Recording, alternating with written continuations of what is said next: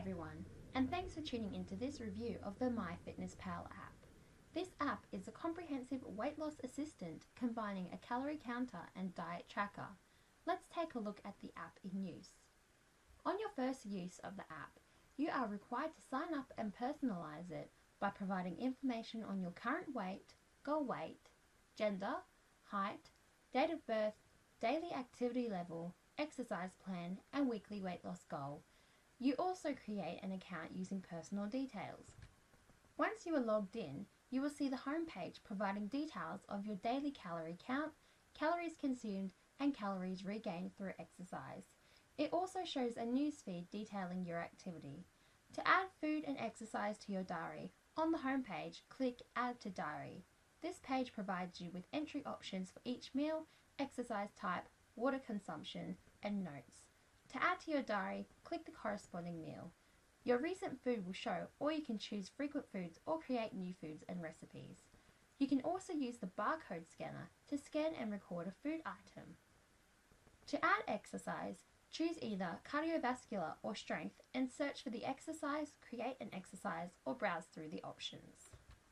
If you select daily along the home screen options, you will see nutrient details consumed and by selecting the pie chart option, you can see a pie chart breakdown of carbs, fat and protein consumed. By selecting weekly in the options, you will see your weekly calorie progress. On the home page, along the top of the screen, there are four other options. The list option is a shortcut to your daily diary. The bar option takes you to your weight loss progress, where you can record your weight and analyze your weight loss. And the friend option gives you the ability to add and message friends, as well as update your status and view those of your friends. The arrow option takes you to your settings page, where you can edit your profile, foods and exercise, account settings, FAQs and tutorials. Although quite detailed, the app is intuitive to use and doesn't take long to learn how to navigate. It has a huge list of foods and brands stored in its inventory, and it is really easy to add a food or exercise you are after if it isn't available. The barcode scanner is a great addition which makes adding pre-packaged foods really easy. This app also syncs using the internet so you can record information using your PC on the MyFitnessPal website.